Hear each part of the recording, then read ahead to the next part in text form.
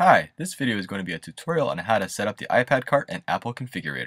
To set up the cart, we'll need a computer, a MacBook Pro in this case, a wireless or Ethernet internet connection, an iPad cart with iPads, and an electrical outlet. To get started, we will need to download Apple Configurator from the App Store. If the App Store icon is in your dock, you can use that to launch the application. You may also use a spotlight or the magnifying glass in the top right corner to search for the App Store.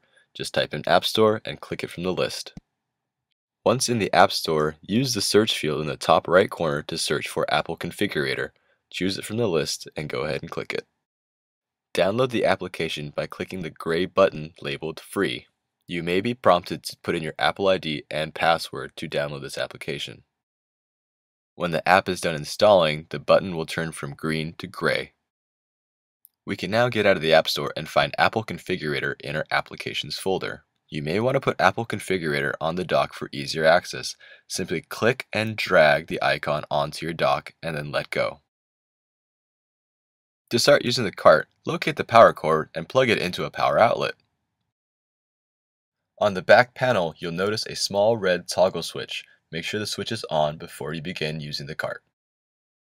The back panel also has indicator lights that let you know which iPads are plugged in. I will be using 5 iPads for this demonstration. In the back of the cart, you'll notice an AC outlet. You can use this to charge your laptop while managing the cart. The cart can hold and charge 30 iPads at a time. Each slot is labeled with a stenciled number above, 1 through 15 on the top shelf, 16 through 30 on the bottom. You may choose to label the slots more clearly if your students are getting confused when returning the iPads. At the top of the cart, you'll find a removable hatch that conceals the USB cable connecting your computer to all the iPads. You can also have your charging wire come out of this hatch as well. We will now begin setting up the master iPad. Choose any iPad to begin.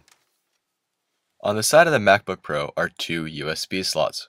You only want to plug in this iPad to the computer. Rather than unplug the other iPads from the cart, I chose to use a different cable.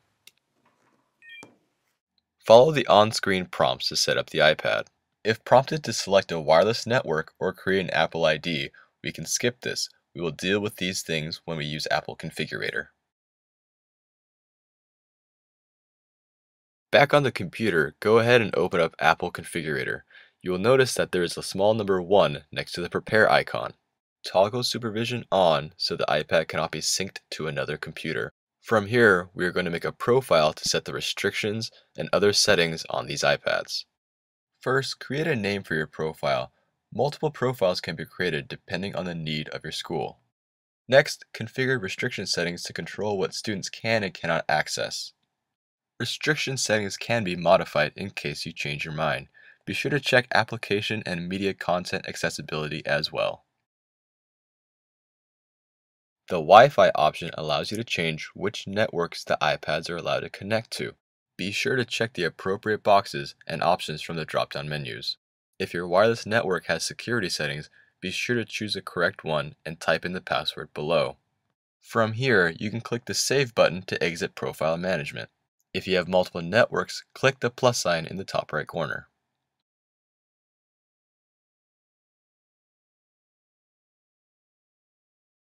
Created profiles will appear in this lower box. Multiple profiles can be loaded onto a single iPad. More restrictive profiles will take precedent.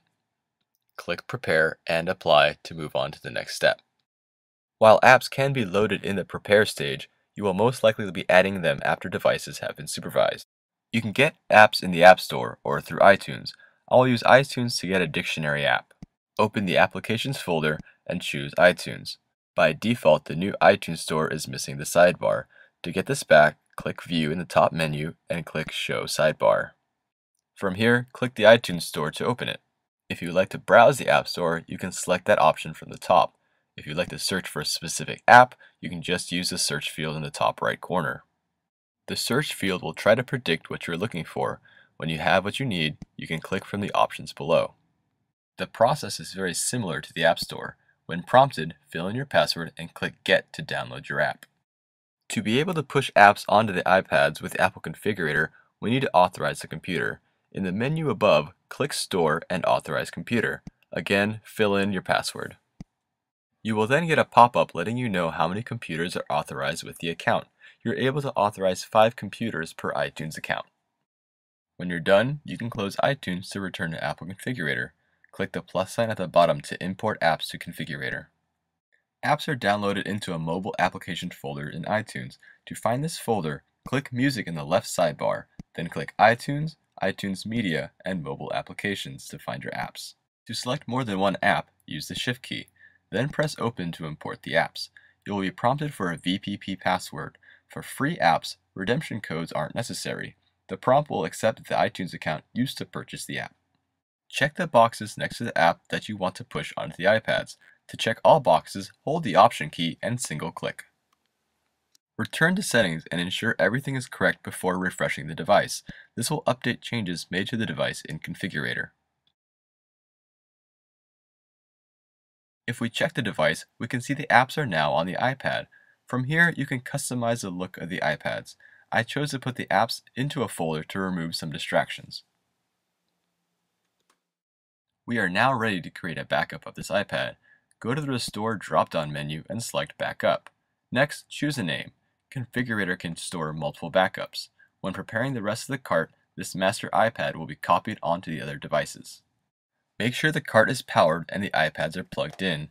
Use the USB cable from the cart to connect to the computer. When Configurator recognizes the iPads, a number will appear next to the Prepare icon. Once Configurator recognizes the devices, open the Restore drop-down menu and choose the Master Backup.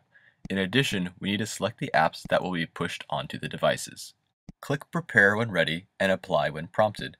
These devices will now have the same look and setting as the Master iPad. The process takes a bit longer than this video might suggest. The iPads will now move over to the Supervise icon.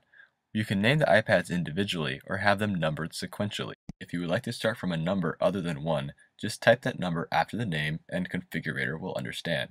Click Refresh to rename the devices. Configurator names the devices randomly in the cart. The iPad in slot 2 is unlikely to have the correct number. It helps to have the number displayed on the lock screen for reorganizational purposes later.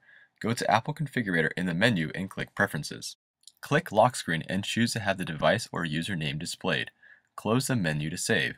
Click Refresh again to ensure the changes are applied. After that, you're done. It will take a minute or two to reorganize the iPads, but the name displays make them easier to identify. I hope this video helped, and good luck managing your iPad cart.